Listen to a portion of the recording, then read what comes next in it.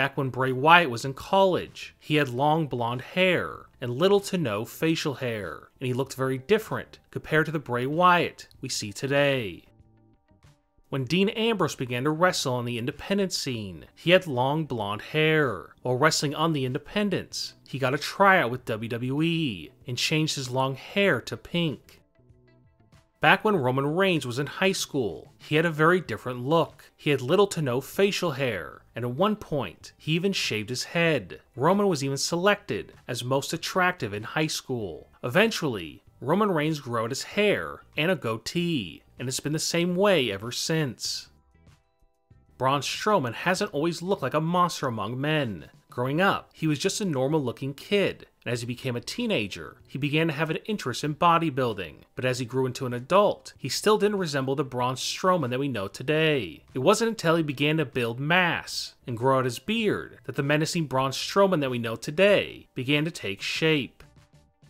Paige started wrestling very young, and even though she was so young, promoters booked her because of her talent and charisma, and she made her way up the ranks. Paige had a very different look back then, but when WWE signed her, she completely changed her look.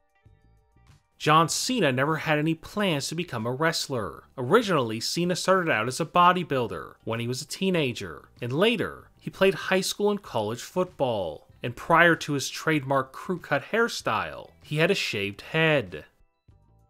Becky Lynch looks very different than when she first started out in pro wrestling. She was only 18 when she made her wrestling debut in Ireland. Before joining WWE, she had much shorter hair with her natural hair color before changing it to bright orange in 2014.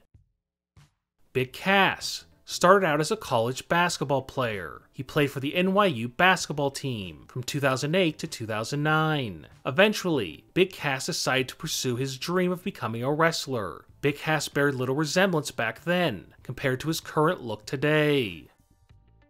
Back in high school and college, Big Show played basketball, and back then, he sported a very different look. He had no facial hair and a completely clean cut look, and he was much thinner back then as well, and he had not developed his physique yet.